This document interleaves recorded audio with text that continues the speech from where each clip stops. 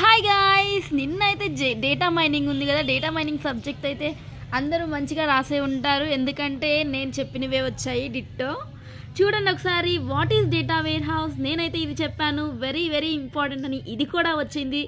And second short question అనేది అయితే constraint based method influence discovery of association rules నేనైతే constant based method అయితే చెప్పాను. ఇంకా అసోసియేషన్ రూల్స్ కూడా చెప్పాను. ఇది కూడా వచ్చింది. హండ్రెడ్ పర్సెంట్ అన్నీ వచ్చేసాయి నేను చెప్పిన దాంట్లో.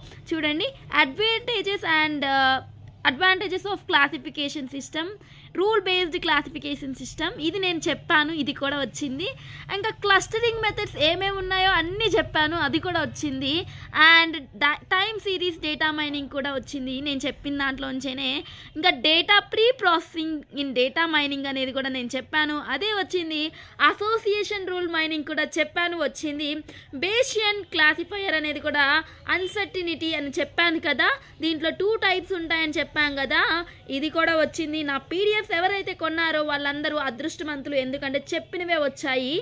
సో అండ్ ఇంకా నెక్స్ట్ క్వశ్చన్ అయితే వచ్చేసరికి క్లస్టరింగ్ క్లస్టరింగ్ గురించి నేనైతే చాలా మెథడ్స్ క్లస్టర్స్లో ఉంటాయని చెప్పాను కదా. Hierarchical different different types of clusters ఉన్నాయి. గ్రిడ్ పార్టీషనింగ్ లైక్ దిస్ ఎన్నో ఉన్నాయి అని చెప్పాను కదా. మల్టీమీడియా డేటా మైనింగ్ బట్ ఇది నేను చెప్పలేదు. సో ఇదొక్కటి ఎక్స్క్యూజ్ చేయండి. నేను చెప్పిన దాంట్లో రాలేదు.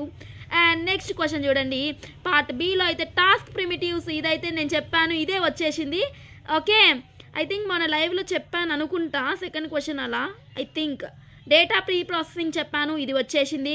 Data mining with data warehouse comparison నేను చెప్పాను నా పీడిఎఫ్లో ఉంది ఇది కూడా వచ్చింది. And step by step explanation about the classify data okay data mining applied in cla classifying data so ఇదేమనుకున్నారు? Classification గురించి ఇది కూడా నేను చెప్పాను. And explore different mining methods used in association rules so guys నేను చెప్పాను ఇది అసోసియేషన్ రూల్స్లో మనకి different different mining మెథడ్స్ని యూజ్ చేస్తామని చెప్పాను కదా. దీంట్లో ఇది నేను చెప్పాను ఇది వచ్చింది. And next process mining freak pattern frequent pattern frequent pattern అంటే ఎఫ్పీ గ్రోత్ ఆల్గ్రిథమ్ ఇదే అది రాసిన ఇది రాసిన ఒకటే ఇది నేను చెప్పాను ఇది వచ్చింది. And correlation analysis so correlation analysis అంటే బిట్వీన్ టూ వేరియబుల్స్ గురించి నేను చెప్పాను ఇది కూడా వచ్చింది.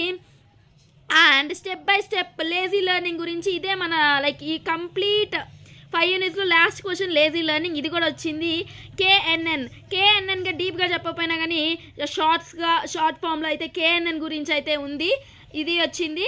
And next question seventh question compare and contrast the con rule based classification and decision tree induction so ఇది కూడా నా ఛానల్ నా పీడిఎఫ్లో అయితే ఉంది.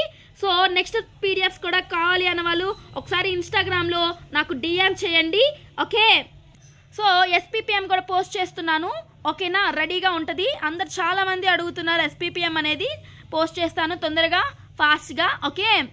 And discuss the relation between den density based and grid based clustering so two types of clusterings గురించి నేనైతే చెప్పాను. ఇది కూడా వచ్చేసింది. గ్రిడ్ బేస్డ్ క్లస్టరింగ్ గురించి మనం డీప్గా చెప్పాలి. స్టెప్ బై స్టెప్ ఇది కూడా నా నా పీడిఎఫ్లో ఉంది. ఒక్కసారి మీకు డౌట్ వస్తే ఒకసారి మళ్ళీ నా పీడిఎఫ్ని ఒకసారి చూడండి. పక్కా? ఓకే అండ్ నెక్స్ట్ క్వశ్చన్ చూడండి. క్లస్టర్ అనాలసిస్ పార్టీషనింగ్ గురించి నేను చెప్పాను. ఇది కూడా వచ్చేసింది. And next mining mining the web wide sorry world wide web sorry దీన్ని మనము నేను ఎలా చెప్పానంటే వెబ్ మైనింగ్ అని పెట్టాను. వరల్డ్ వైడ్ వెబ్బింగ్ అయినా అడగొచ్చు ఇంకా వెబ్ మైనింగ్ అని నేను చెప్పాను. ఇది కూడా వచ్చింది. Next last be but last but sorry last one but least one okay like lazy learning before ఇదే ఉంటుంది. స్పెషల్ డేటా మైనింగ్ ఇది నేను చెప్పాను. ఇది వచ్చింది. అండ్ నెక్స్ట్ క్వశ్చన్ చూడండి. Elaborate the minimum mining sequence pattern in transactional database ఇది కూడా వచ్చింది. అన్ని డిట్టో అనే డిట్టో దిగిపోయాయి అంతే. సో నా సబ్జెక్ట్ అయితే పక్కా పాస్ అవుతారు. పాస్ అవ్వటం ఏంది? హండ్రెడ్ పర్సెంట్ అన్నిటికీ అన్నీ తెచ్చుకోవచ్చు. ఓకే?